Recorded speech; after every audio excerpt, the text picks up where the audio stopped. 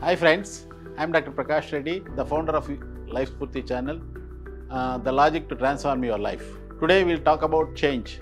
Change can be either exciting or it can be terrifying.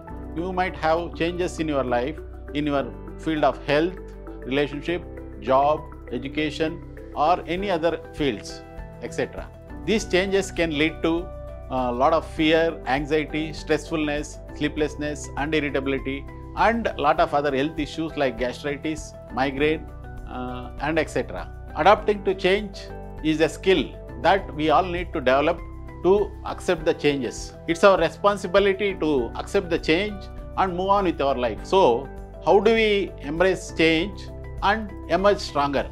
You have to do these three things to embrace change. Number one, acknowledge your feeling, what you are feeling inside your body, whether you're tensed, anxious, fearful, or stressful. Number two, identify the benefits and possibilities this change can bring it in you.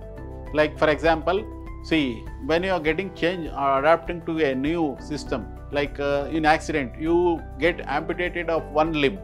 How you can adapt to walking with a other limb or a artificial limb? You have to adapt to that change to carry on with our life. Number three, adopt a mindset of resilience and adaptability. See, like for example, we faced COVID in 2019. We got adapted to different strains of COVID, like uh, first wave, second wave, third wave, and there is now JN1 also is coming. So we took vaccine, we moved on with our life. We started living like embracing the change what COVID virus brought in us, and we are moving on with the life. Embracing change is the only way to grow and survive.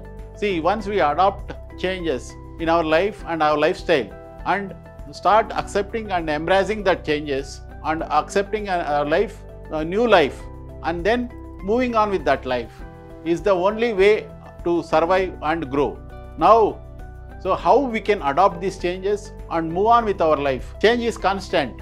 See it as a friend, not as a foe, and move on with our life with the changes. Thank you for watching this video and do subscribe to watch more videos like this. Thank you.